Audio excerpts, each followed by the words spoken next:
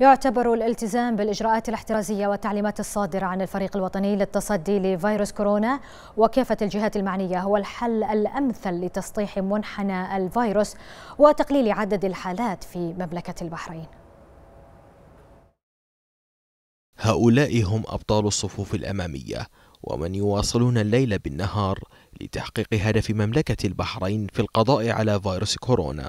ولكن كيف يتم إسناد هذه الجهود الوطنية المخلصة خاصة في ظل ارتفاع الإصابات بفيروس كورونا؟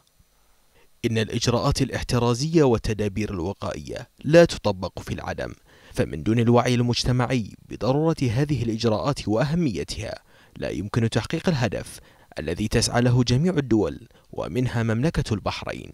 ورغم أن فيروس كورونا المتحور قد انتشر في المملكة إلا أن ذات الإجراءات المعلن عنها منذ بداية الجائحة وإلى هذه اللحظة هي الحل الأمثل والصحيح للوقاية من الفيروس وتبعاته.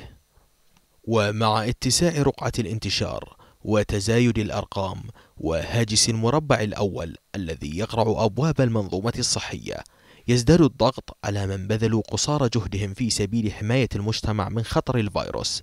ومن هم في الصفوف الأمامية هم جزء من المجتمع. فكيف لشريحة من المجتمع أن تكافئ أبطال القطاع الصحي والجهات المساندة بشكل مؤسف من خلال الاستهتار الذي لا يقبله المنطق السليم؟ إن الحل في كل ما ذكر يكمن في الوعي المجتمعي فالتعليمات تحتاج لاستجابة ووعي بأهميتها وتتويج جهود الصفوف الأمامية يحتاج إلى التزام صارم بحس وطني. فالإجراءات التي أعلنت عنها مملكة البحرين واضحة ودقيقة والكرة الآن في ملعب المواطنين والمقيمين فإما تسطيح المنحنى والقضاء على فيروس كورونا أو فقد وألم لأحباب وأصحاب نتيجة استهتار غير مسؤول.